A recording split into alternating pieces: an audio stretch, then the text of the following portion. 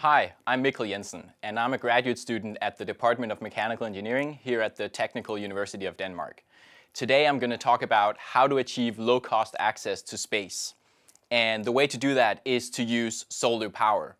So the concept I'm going to talk about is the solar booster rocket. And what it changes from current generation of rocket engines is that it does not get its energy from chemicals, because current rocket engines use uh, an oxidizer and a propellant to combine the two and then extract the heat of the chemical reaction to produce thrust. Now, this has been the way it's been done for the last 50 years, and the performance of these rockets has literally remained unchanged. So one way we could actually increase the performance of these rockets is to get our energy from a different source. Now you could use nuclear or other sources, but this concept focusing on using solar power.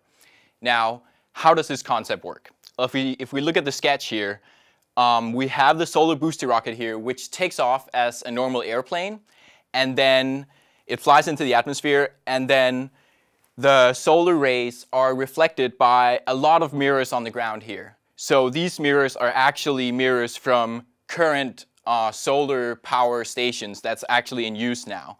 So the solar rays hit the mirrors and the mirrors reflect the sunlight back up onto the rocket here. And the rocket has a heat exchanger at the bottom. So the heat exchanger becomes very, very hot and then you let the propellant flow into the heat exchanger and thereby extracting the energy from the solar rays. And this concept actually has a lot better performance than currently operational chemical rocket engines because you can extract a lot more energy depending on how many mirrors you use on the ground.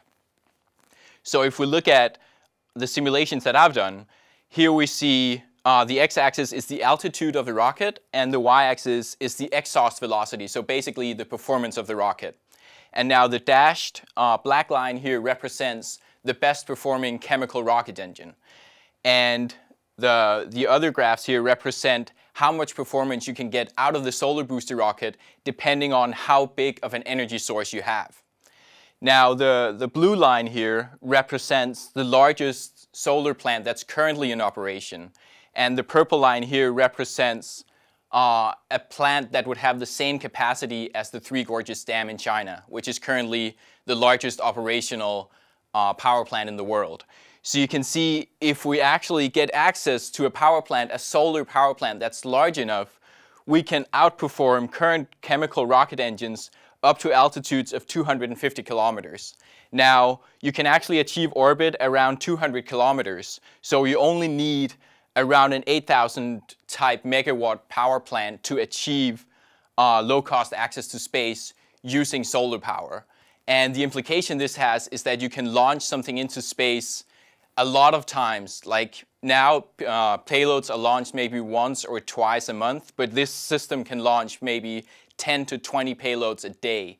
So you get a huge infrastructure of launching something into space, which can create uh, exploration projects at previously unseen scales, which could, which could inspire new generations of scientists and engineers.